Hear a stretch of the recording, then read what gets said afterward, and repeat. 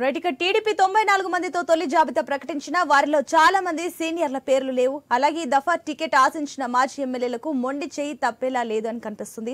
So మొత్తం ఆ విజయవాడకు సంబంధించిన మరిన్ని డీటెయిల్స్ మా ప్రతినిధి హరీష్ అందిస్తారు. ఎస్ హరీష్.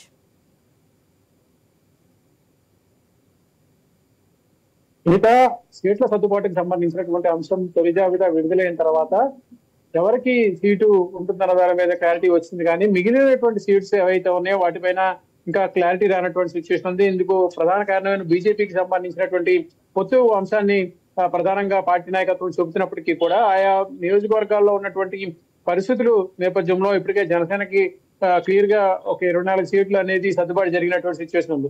ఇక మిగిలిన నూట పద్దెనిమిది స్థానాలు సీట్లు సర్దుబాటు తర్వాత మిగిలిన స్థానాలు ఏవైతే ఉన్నాయో వాటిపైన ఇప్పటి వరకు ఇప్పటికీ కూడా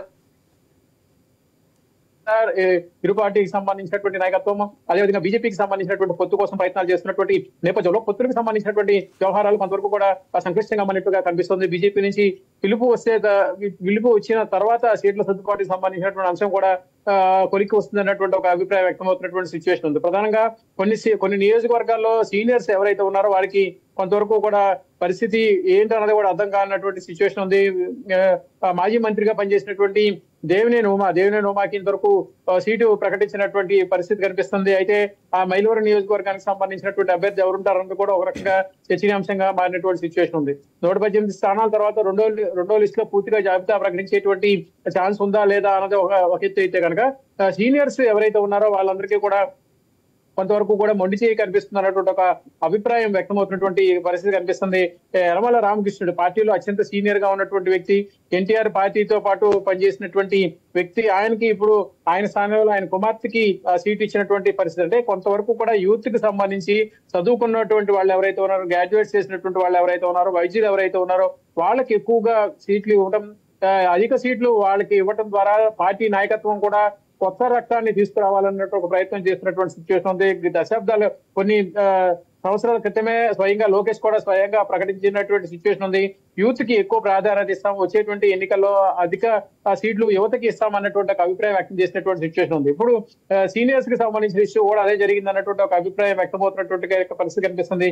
విజయవాడ ప్రధానమైనటువంటి విజయవాడ చూసుకుంటే కనుక స్థానికంగా మాజీ ఎమ్మెల్సీగా ఉన్నటువంటి బుద్ధా వెంకన్న సీట్ని ఆశించారు. పశ్చిమ నియోజకవర్గం సీట్ కావాలని చెప్పి ఆయన స్వయంగా రక్తం తీసి చంద్రబాబుకి తన సీటు కేటాయించాలన్నటువంటి ఒక అభిప్రాయం వ్యక్తం చేసినటువంటి సిచ్యువేషన్ ఉంది. అయితే పశ్చిమ సీటు విజయవాడలో ఉన్నటువంటి మూడు సీట్లలో రెండు సీట్లని టీడీపీ ప్రకటించినప్పటికీ కూడా పశ్చిమ సీట్ని మాత్రం ఇంతవరకు ప్రకటించినటువంటి ప్రకటిస్తుంది అయితే అది జనసేనకు వెళుతుంది అన్నటువంటి ఒక సంకేతం వ్యక్తమైనటువంటి నేపథ్యంలో జనసేన సీటుగా అది ప్రచారం జరుగుతున్నటువంటి పరిస్థితి కనిపిస్తుంది. అయితే ఇప్పుడు ఉన్నటువంటి సిచ్యువేషన్స్లో చూసుకుంటే కనుక త్యాగాలకి ఏదైతే సీట్లు సర్దుబాటుకి సంబంధించినటువంటి అంశం ఏదైతే ఉందో దాంట్లో సీట్లు రానటువంటి వాళ్ళు ఇటు పరిస్థితుల్లోనూ పార్టీకి సపోర్ట్ చేయాలన్నటువంటి ఒక సంకేతాన్ని ఇరు పార్టీలకు సంబంధించినటువంటి నాయకత్వం ఇచ్చినటువంటి పరిస్థితి కనిపిస్తుంది. అందులో భాగంగానే ఇప్పుడు సీట్ల సర్దుబాటుకి సంబంధించినటువంటి వ్యవహారం కూడా తెర మీదకి వస్తున్నటువంటి నేపథ్యంలో సీనియర్లు పూర్తిగా త్యాగం చేయక మానదు త్యాగం చేయాల్సినటువంటి సిచ్యువేషన్ ఉంటుంది అన్నటువంటి ఒక సంకేతాన్ని పంపించాలనే ఉద్దేశంతోనే తొలిసా తొలిగా విడుదల చేసినటువంటి తొంభై నాలుగు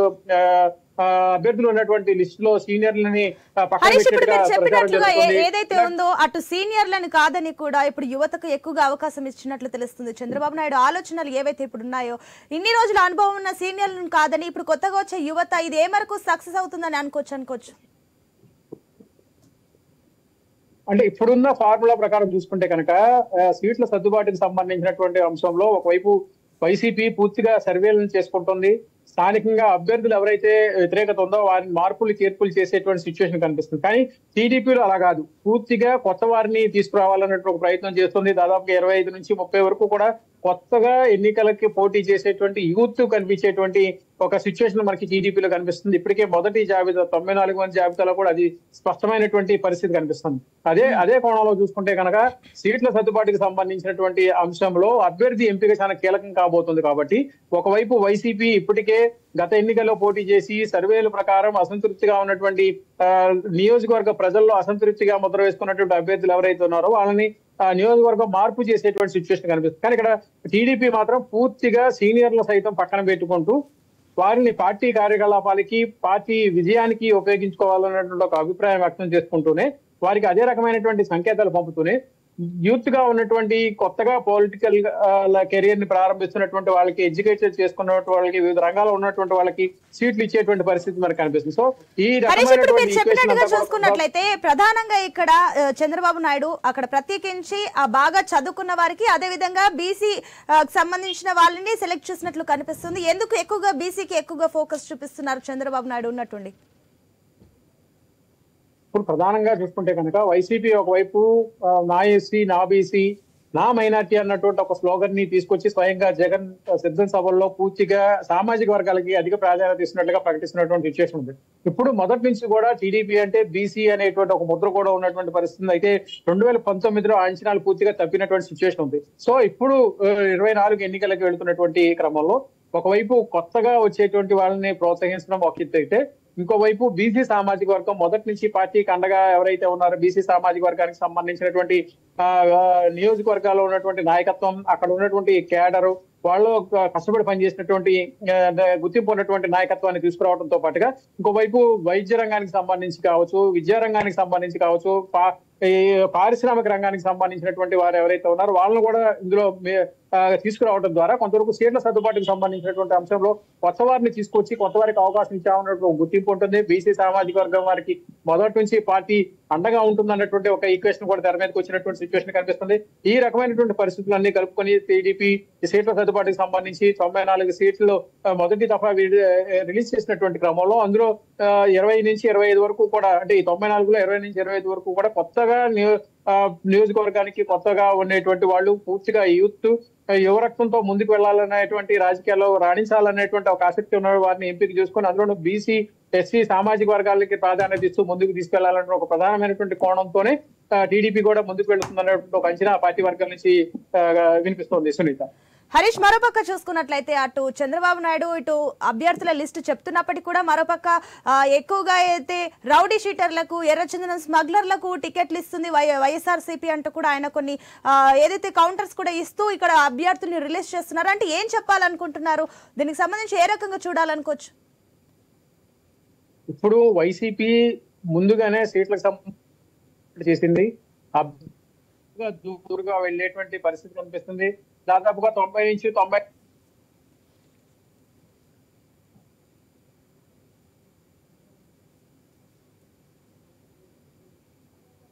ఒక అభిప్రాయం వ్యక్తమవుతున్నటువంటి నేపథ్యంలో వాటిని ఢీకొనేటువంటి విధంగా రాజకీయంగా ఉన్నటువంటి పరిస్థితులను అంచనాలను తారుమారు చేసే విధంగా ఇప్పుడు టీడీపీకి సంబంధించినటువంటి నాయకత్వం ఏదైతే ఉందో ఆ నాయకత్వం పూర్తిగా అభ్యర్థులకు సంబంధించినటువంటి అంశాలపైన కాన్సన్ట్రేషన్ చేయడంతో పాటుగా వైసీపీ ఎవరైతే గతంలో పనిచేసినటువంటి నియోజకవర్గంలో పనిచేసినటువంటి నియోజకవర్గ పార్టీ శాసనసభ్యులు కావచ్చు ఇన్ఛార్జీలు కావచ్చు వీళ్ళందరూ ఎవరైతే ఉన్నారో వాళ్ళని తిరిగి వేరే నియోజకవర్గాల్లో నిలబెట్టడాన్ని టీడీపీ పూర్తిగా ఎత్తి చూపేటువంటి ప్రయత్నం కనిపిస్తుంది. అందులో భాగంగానే చంద్రబాబు కావచ్చు లోకేష్ కావచ్చు వాళ్ళు కీలకమైనటువంటి వ్యాఖ్యలు చేశారు. ఒక నియోజకవర్గంలో చల్లని నాణం మరో నియోజకవర్గంలో ఎలా చెల్లుతుంది అన్నటువంటి ఒక కామెంట్స్ కూడా చేసినటువంటి సిచ్యువేషన్ మనం చూసాం. సో అదే రకమైనటువంటి ఈక్వేషన్ ఇక్కడ టీడీపీ చాలా కీలకంగా భావిస్తున్నట్టుగా కనిపిస్తుంది.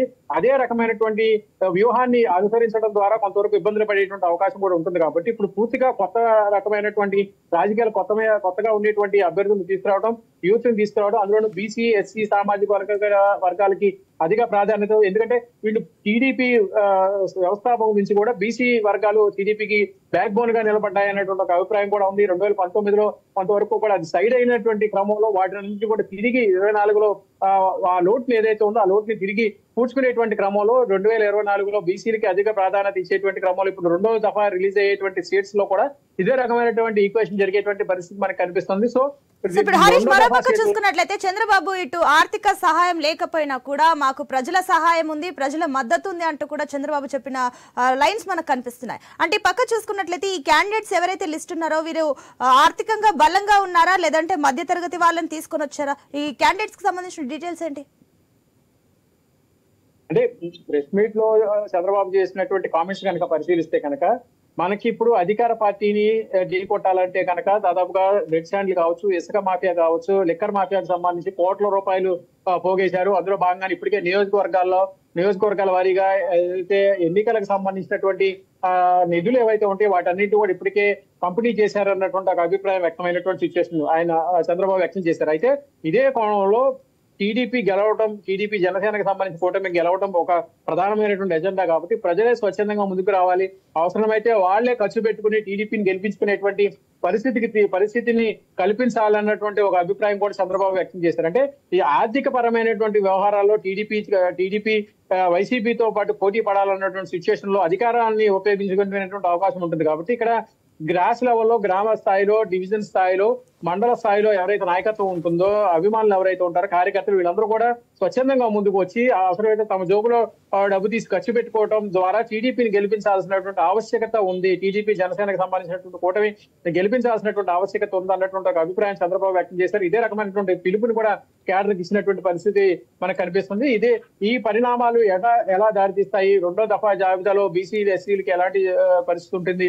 వచ్చేటువంటి ఎన్నికని టీడీపీ వైసీపీ ధీటుగా ఎలా ఎదుర్కొంటుంది? రాబోయేటువంటి పరిణామాలు ఎలా ఉండబోతాయి అన్నది కూడా ఒక రకంగా ఆసక్తికరంగా మారినటువంటి పరిస్థితి మనకు కనిపిస్తుంది. హరీష్ మరోపక్క చూసుకున్నట్లయితే ఇటు రెండో జాబితా విడుదల కాకముందే కూడా మొదటి జాబితాలో కొన్ని కన్ఫ్యూజన్స్ అయితే పెట్టారు. ఏదైతే ఇప్పుడు టీడీపీ తొంభై నాలుగు అసెంబ్లీ స్థానాలకు సంబంధించి అభ్యర్థులు లిస్ట్ ఫైనల్ చేసింది చంద్రబాబు దీనికి సంబంధించి క్లియర్ చేస్తారు.